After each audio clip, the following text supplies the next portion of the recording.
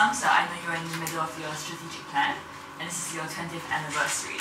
What is the part that SAMSA has to play in South African story?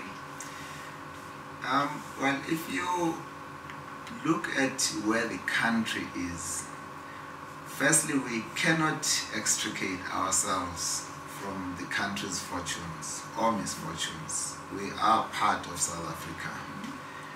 That part that works within the maritime sector.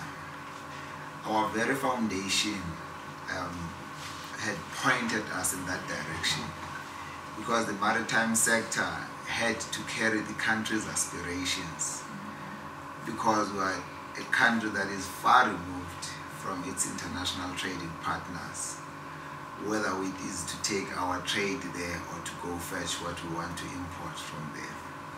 And so at the core of the country has to be the ability for the maritime industry to really ensure a sustainable economy. Now, SAMSA then gets envisaged in that context to say that you've got 3,000 kilometers of a coastline, um, you've got um, all eight ports, etc., 250 um, mile for exclusive economic zone, what it is that you do there. And um, firstly, if you are a coastal state, there are obligations internationally that you must um, do because you're part of a common heritage that is called the world oceans. And that um, part there is to ensure that the oceans remain sustainable um, in terms of um, ensuring the protection of lives at sea mm-hmm. as well as ensuring the protection of the environment. But the understanding has always been that those things come at a cost and as a balance then there has always been a need that the countries then derive the economic benefit out of the part that they are required to play. So here is us trying to explain this thing to the 55 million South Africans to say you've got this coastline mm-hmm. and there is a new dawn. What does that coastline, what is the link between the coastline and the dawn that is beginning to, to, to, to emerge for us?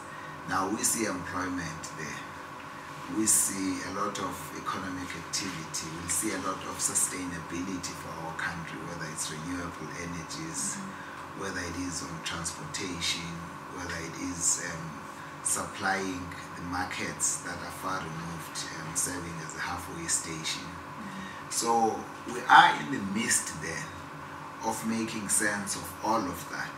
And by the way, that project has started some seven, eight years ago and continues to run. And, and so it is just one milestone that we have to stop and look at. So how else do we add value? I must say that um, back then, remember, we had run our maritime economy so down that it was fully foreign controlled we had no ships transporting our cargoes. Mm-hmm. Our um, seafarer registry had, uh, had been on a decline for over a very long period of time. And, and so when we looked at the options that we needed to do, was that as you reposition South Africa as an international maritime center and trying to make South Africa a significant player in maritime terms, it was important for us to have a very long-term strategy and then um, see what short-term goals we had. And so we began by saying, firstly, for this to grow, you need the skills that will supply it. And there we went, took part in the Human Resource Development Council, which by the way was headed ultimately by the current president, who was the deputy president at the time. We commissioned a report there on maritime sector skills. I was chair of the task team that was looking into issues relating to those tasks, uh, to, to the maritime sector skills. Mm-hmm. Now, once we had done that, we had understood what blockages we needed to deal with and we produced a report and that report then we took it to Operation Phakisa to say that what are these things that we need to do in regards to skills development. Um, and then we segmented the industry into five subsectors. It's fishing, um, oil and gas, transport, manufacturing, and tourism. And um, so once we then had a, a, in an outline for the architecture of the industry, then it helped for us to say where are those skills that we're going to have to develop.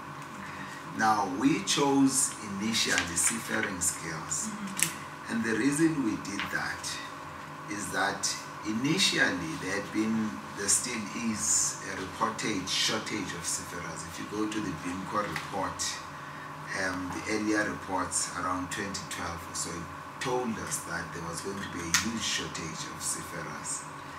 And uh, even the latest report, much as the economy slowed right down, it still shows shortages on specialized areas. So that is exactly where we are then pointed our first effort to say we shall develop the skills. And then we commissioned one vessel, the training vessel, we call it the Agulhas. It was a retired uh, polar research vessel that we took over, converted. And um, within that, we have produced in excess of 1,000 seafarers now since wow. inception, Since uh, which year was the since inception? 2012 or 2011 to be exact. And uh, our seafarer registry has been growing quite gradually. So the one area we managed to arrest is the declining skills. Um, if anything, um, we're starting that upward tra- trajectory again. And so, from a skills development point of view, such has been our interpretation of the new dawn. We're trying to accelerate that. And then part of the other initiatives that we did was if you look at the transportation itself, as a country in 2013 14, we had 320 million tons of import and exports. Now, that number stayed more or less the same. Um, we do not have the numbers for, for the last two years but I would imagine it's approximately 300 million tons again. Now, if you look at that, a huge percentage, about more than half actually, 170 million tons, is dry bulk Now, that is iron ore coming out of Saldanha Bay, that is manganese ore coming out of Port Elizabeth um, as ports, that is uh, coal coming out of Richards Bay and Durban, and a fair amount of some of the other phosphates also coming out of Richards Bay. Now, those cargoes that arise when government issues mining licenses to mining companies.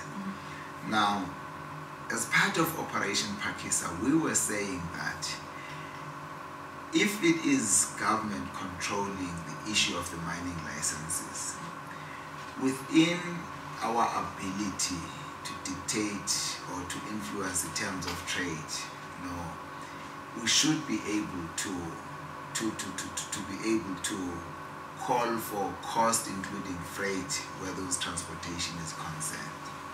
Because if we did that, then we would be able to have to arrange for our own transportation and that's where shipping comes in.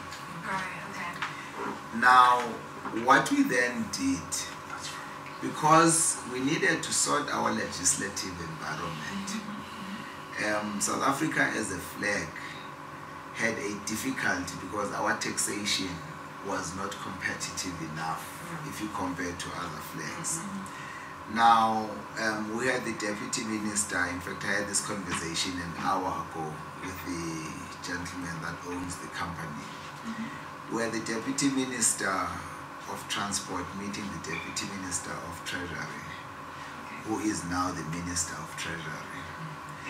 And um, we were trying to see how can we get to be competitive as a country from a taxation regime. And all those efforts led to one very big um, shift in taxation because we managed to get for the shipping industry a complete tax exemption for those ships that are operating internationally. Oh wow, okay. So, um, and in fact, um, we had compared ourselves to Singapore mm -hmm. because we consider it as one of the best flags to benchmark. Mm -hmm.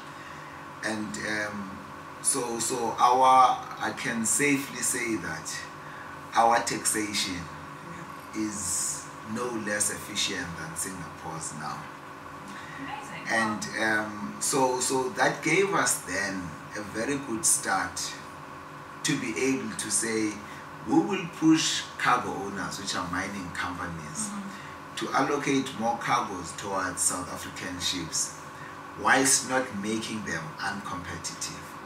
Because the most important thing is that as we South Africanize, and it is uh, one of our cardinal rules, we are not going to be less competitive because it is not going to be less competitive because it's South African. Yeah. And that is what we've safeguarded against. Mm -hmm it has its pros and cons. We've tended to move slower than we would have loved to. Because then, um, if you want to work on your value proposition, it takes that much longer. We've had problems in that um, we, we still do not have banking institutions that trust in the South African flag. Mm. So all the international funders mm. have tended to walk with caution where it comes to having their money linked to the South African flag. Okay. Which is a problem for us. Because on one hand, as a country, we're regarded as a country with a very strong legal and judicial system. Which then should mean that if you put your investment in South African hands, it should be adequately protected. Of course, yeah. So it is one issue that we're still grappling with, mm -hmm. but it's a marketing issue now not a legislative issue. And um, so the second part then to your answer, to answer your question, how is this new dawn being um, um, um, um made sense of by ourselves? Mm -hmm. We are running ahead with getting more tonnage carried by South African ships in fact, in two days' time, I've got a function with Anglo um, Shipping because um, they gave us, they gave the South African company cargo that allowed them to go and purchase their first two ships. So we've got ships on the registry, on the registry now. So that is how far we've come in regards to shipping. And then we said then, looked and said, but the halfway station that we are should give us a bit more advantage. Mm -hmm. Now, if you look at South Africa, and the reason we went to the map outside, and we didn't get to that detail, where we are, if you go from east to west, mm -hmm. um, carrying the bulk of the trade that can go through the Suez Canal and can go through the Pacific and Panama Canal. Yeah. Um, we are exactly 21, 22 days away from China. And at this point, you generally need supplies, whether it is fuel or victuallings or anything of sorts. Now, if you come from west to east, same thing. There's a lot of iron ore that leaves Brazil to go to China. Those ships have been on at sea for 22 days. There's quite a few ships that leave um, um, um, the, the, the, the, east coast of um, North America to go to China. Mm -hmm. Again, um, they've been on the on at sea for a similar number of days. So we then decided to make ourselves a halfway station, the halfway station that we were when the first settlers landed in 1652. And um, out of that, then we interpreted that we needed a refueling station out of um, Algoa Bay, Port Elizabeth. Mm -hmm.